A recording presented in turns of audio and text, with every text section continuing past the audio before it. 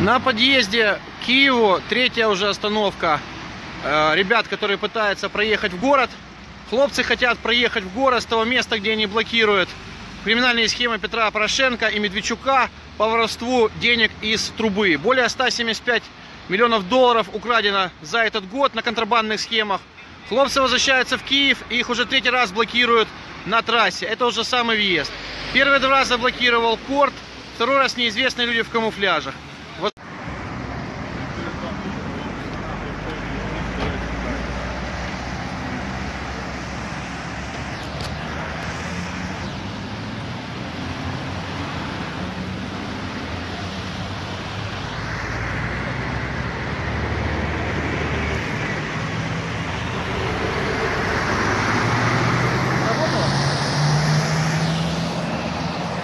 переключилась на эту камеру. Как ее переключить? На стрелочку. Так, где? Вот это?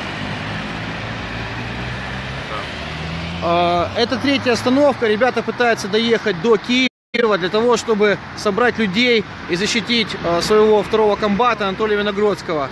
А, Анатолий Виногродский, позывной ГАЛ, был сегодня похищен донецкими так зваными полицейскими, увезен в Мариуполь, якобы по обвинению в разбое.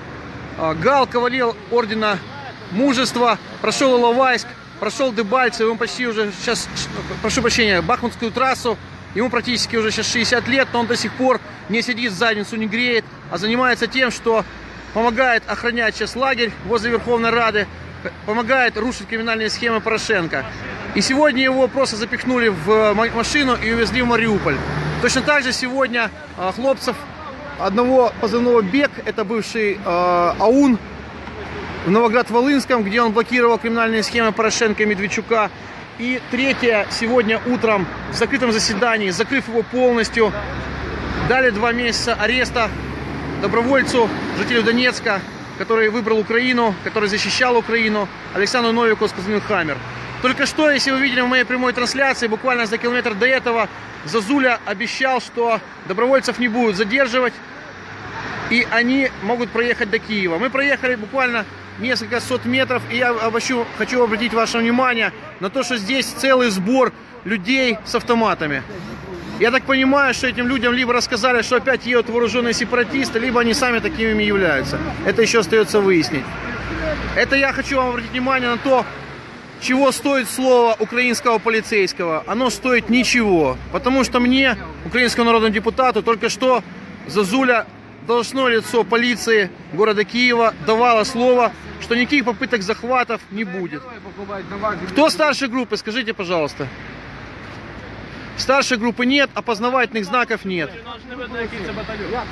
Об- Обратите внимание, лица, находящиеся в центре Киева, не имеют ни шевронов, хотя шеврон какой-то имеют, но, я так разумею, ну, наш герб и то, слава богу, не имеют опознавательных знаков, зато имеют вооружение. И чего-то они тут ждут, чего непонятно. Со снятым предохранителем стоит СКСО. Ага. Автоматы со снятым предохранителем. Очевидно, похищать добровольцев очень понравилось. Хлопцы, кто сейчас хочет помочь, и девчата, репостите сейчас прямую трансляцию. Кто может подъехать, подтягивайтесь сюда. Мы на въезде в Киев. Где это? Где мы сейчас? Сосновый бор. Стоят люди без э, распознавательных знаков, без старшего, с автоматами. Я понимаю, что очень многие украинские журналисты давно потеряли совесть в, свои, в карманах олигархов и давно уже просто врут в прямом эфире. Но, возможно, эта совесть у кого-то осталась. Кого-то заинтересуют люди с автоматами в центре Киева, которые останавливают колонны, у которых нет старшего, которые скучающе смотрят по сторонам, не имеют опознавательных знаков. Если кому-то это не интересно, ну, завтра они придут к вам. Потому что непокаранное зло, оно обычно возвращается. Если начинается не жизнь по закону, а жизнь по приказам, и независимо, законно это или незаконно, а командиры, да, дальше приказ теряются, то рано или поздно, еще раз, добираются до того обывателя, который сидит и думает, что до него ничего не коснется. Зазуля куда-то пропал. Для тех, кто только подключился, еще раз, мы находимся в центре Киева. Хлопцы с батальона Донбасс и с руху вызвания возвращаются с Новоград-Волынского. С блокады, которые организовали они криминальной схеме Петра Порошенко и Медведчука. Сегодня похитили нашего второго комбата Анатолия Виногродского, кавалера ордена мужества с позывным ГАЛ. ГАЛ прошел Иловайск, прошел Бахмутскую трассу, прошел Широкино, прошел операцию, является инвалидом второй группы, участник и активный руководитель блокады торговли с оккупантами. И сегодня его просто-напросто запихнули в машину и везли в Мариуполь, а полиция издала такой вот информационный листок о том, что он обвиняется в разбое. Сегодня в Новоград-Волынском был похищен боец АУН, тоже активист выгля- вызвания, позывной «Бег». И сегодня у нас еще дали два месяца, закрыв дело для общественности тем же Мариупольским судом, который судил Колмогорова. Два месяца Александру Новикову. А, Первый раз остановили хлопцев на подъезде в город. Второй раз остановили хлопцев на подъезде в город. При- Пришел Корт и обещал э, ру- руководитель патруль- патрульной полиции Зазуля не препятствовать движению колонны. Оказался лжецом, точно так же, как, судя по всему, и все его руководители. Вот надпись «Сосновый бор». Мы на въезде в Киев. И здесь, слава богу, углядели за сколько метров? За 200 метров группу людей без опознавательных знаков, без шевронов, без руководителя. С- с- Если тут кто-то из вооруженных людей подчиняется законам Украины, согласно закону Украины о статусе народного депутата Украины, вы обязаны старшей группы, должностное лицо, сюда ко мне подойти. Я требую негайно со мной встретиться. Кто старшей группы? Проверка, понятно. Хлопцы, чей Крым? Крым чей? Крым чей? Слава Богу! Хлопцы, слава Украине! Слава Богу! Старшей группы подойдите, но видите, хлопцы говорят слава Украине. ГРП полицейский где-то там. Дякую вам. Я ж ничего плохого не требую, только представиться. Мы неудобные для них.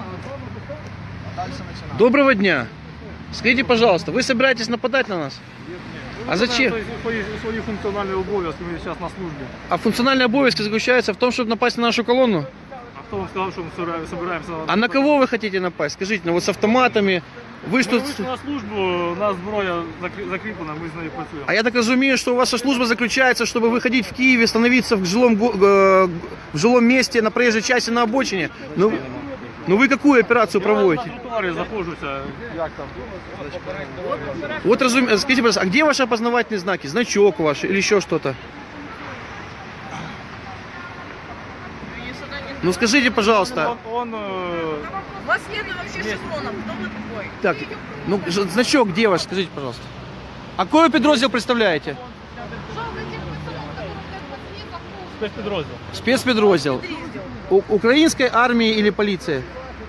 Ну хотя бы наша страна. Конечно. Доброе. Полиция это или что это? Поліція. Полиция. Доброе. А почему у вас значка нету? Не передбачено. Значок не передбачен, я понял. Скажите, пожалуйста, а э, я как народный депутат хотел бы поинтересоваться, для чего это вот, наверное, хлопцы вас э, задерживать, да, собрались? Нет, А для чего? Общественного порядка. Охрана общественного порядка в Киеве с автоматами? Скажите, пожалуйста, это сотрудник полиции или кто это? Почему на нем нету ни шевронов, ни э, знака? Он Обратите... говорит, что он руководствуется законом Украины, закон Украины про полицию. Есть такое у вас, да?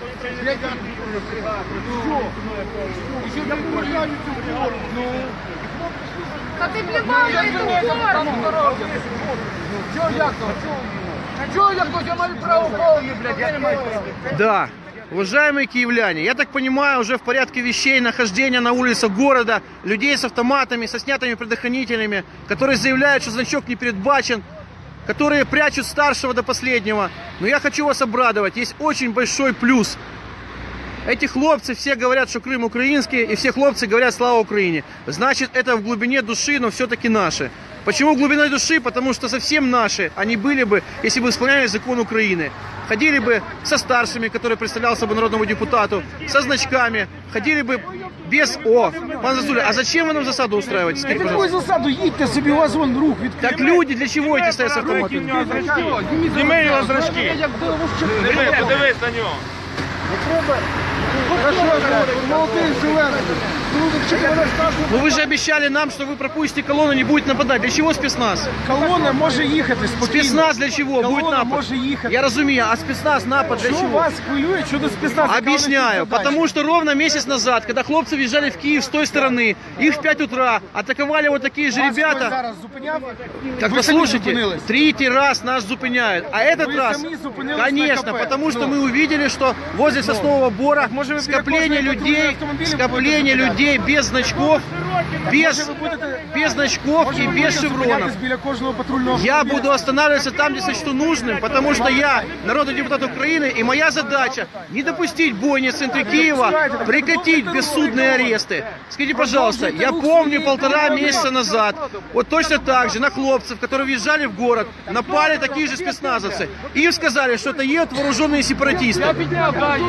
Уберите, пожалуйста, спецназ. Ви можете У, їхати. у них сняты предохранители. Уберите их отсюда, пожалуйста. Ви можете спокійно. Как только они поравняются с вами, они начнут бежать в бик машин и их вытаскивать. Уберите людей отсюда. Стоїте замість того, щоб сісти в машину. Потому что і їхати уберите вооруженных людей. Хто вас де вас тут тільки що зупинили? Я хочу сказать, что сегодня хлопцы девчата, они напрасно турбуются. Сегодня был похищен точно так же. Набежала куча людей. А, Боец батальона АУН, позывной Бег, активист руху вызвания. Точно так же набежали сегодня. А, С женой ехал второй комбат Донбасса Анатолий Виногродский с позывным ГАЛ. который прошел Широкино, который прошел Иловайск, который прошел Бахмутовскую трассу, но не прошел Киев, судя по всему. И точно так же сегодня два раза нас останавливали по пути в Киев. Хлопцев, которые ехали на помощь своим побратимам. Останавливал сначала просто наряд полиции, потом Корт, потом Зазуля отвечал, что всех пропустят. И мы сейчас, подъезжая к Сосновому Бару, за 200 метров увидели подозрительные автобусы и спецназ, подошли и увидели массу людей, которые не представляются на вымоги народного депутата, которые находятся без значков и говорят, что они не предбачены, у которых появляется старший только после десятого раза, автоматы со снятыми предохранителями, и все они говорят, что они просто тут работают. Очень интересная работа. Вопрос только кем и на какую страну.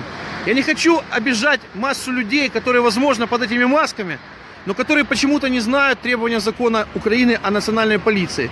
А может, они не знают, кто там впереди из тех хлопцев, которые не собираются останавливать.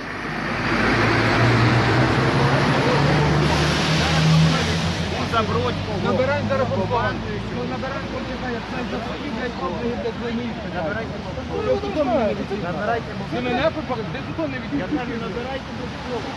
Вот хлопцы, э, которые с руху вызвания, с батальона Донбасс, которые возвращаются с блокады Новоград-Волынского, криминальной схеме Петра Порошенко и Виктора Медведчука. Новоград-Волынского, кто смотрел мои трансляции, находится труба, которая принадлежит Транснефти и почему-то не принадлежит Украине.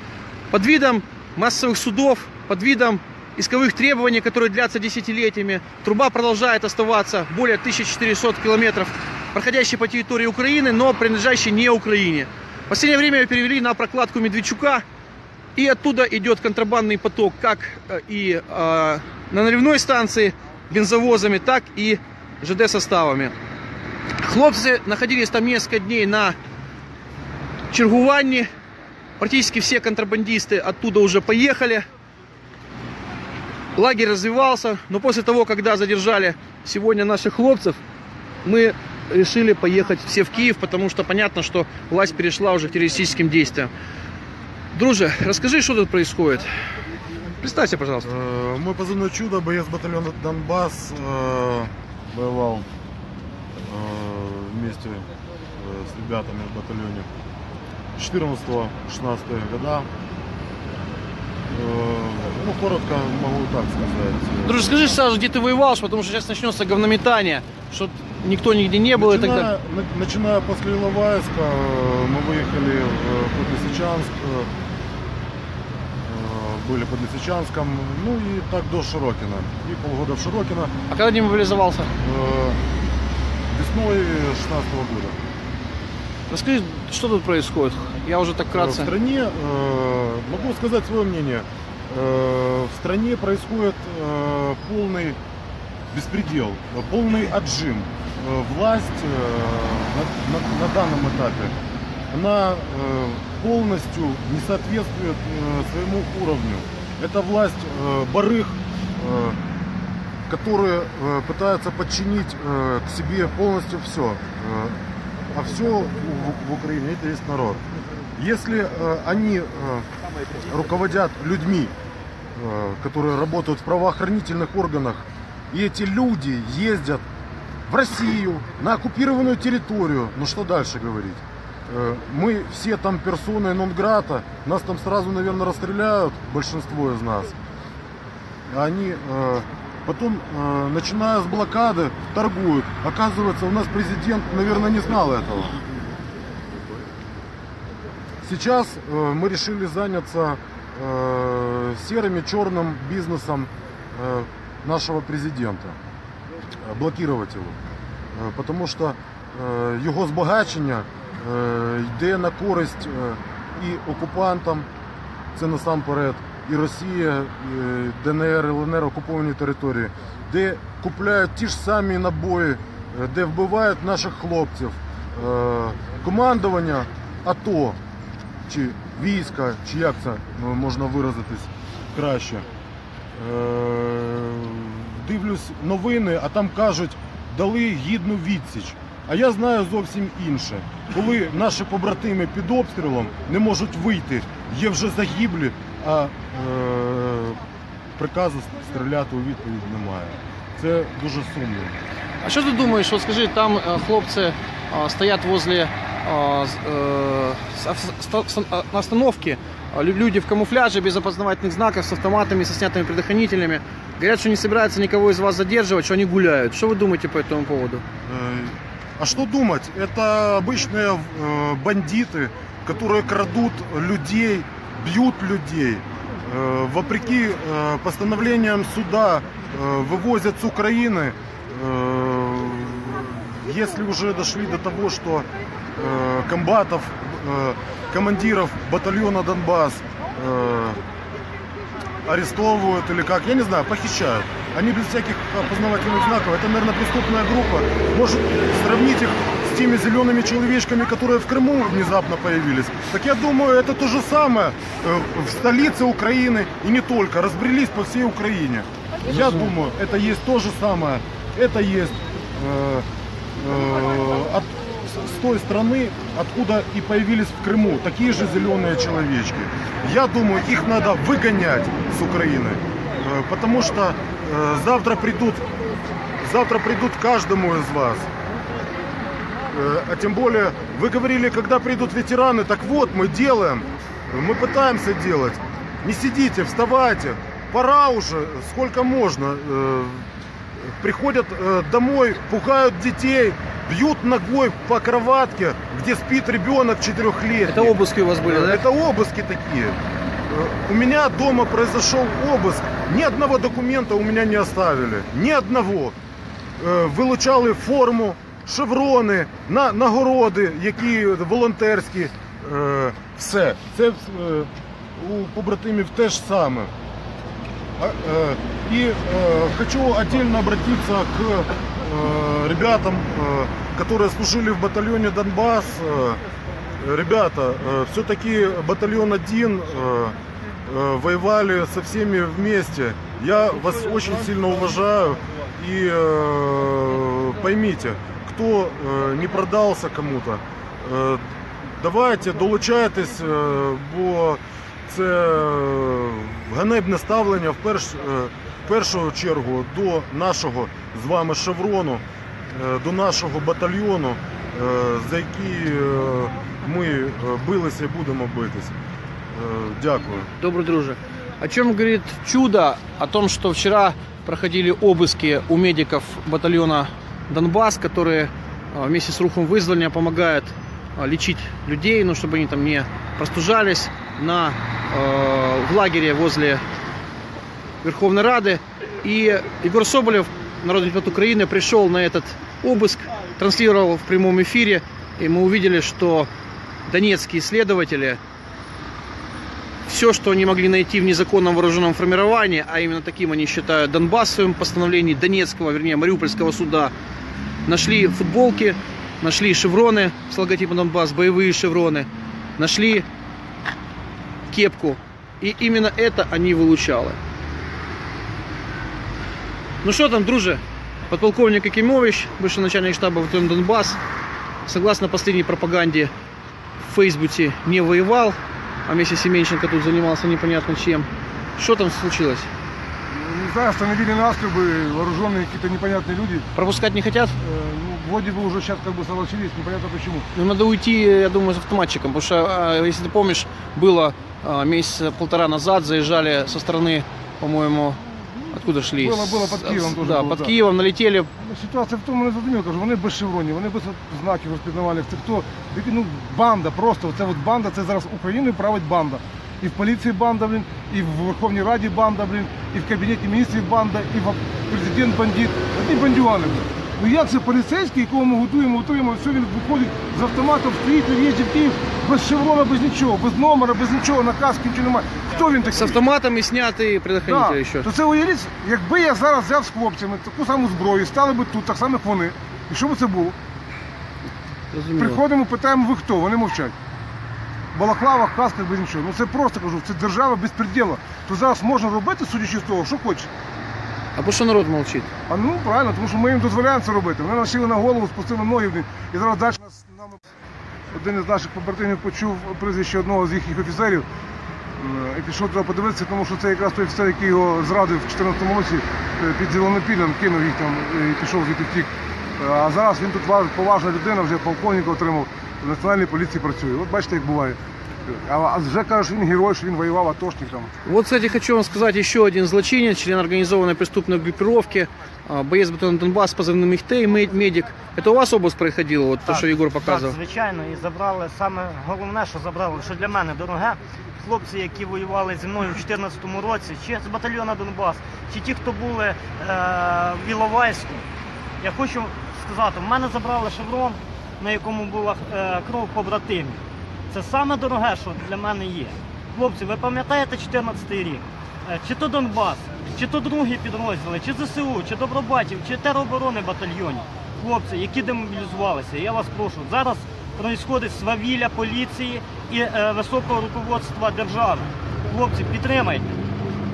Я кажу, що для мене, я як побачив вчора на відео, що в мене забрали цей шеврон, в мене до цього часу в мене сльози накачуються на очі.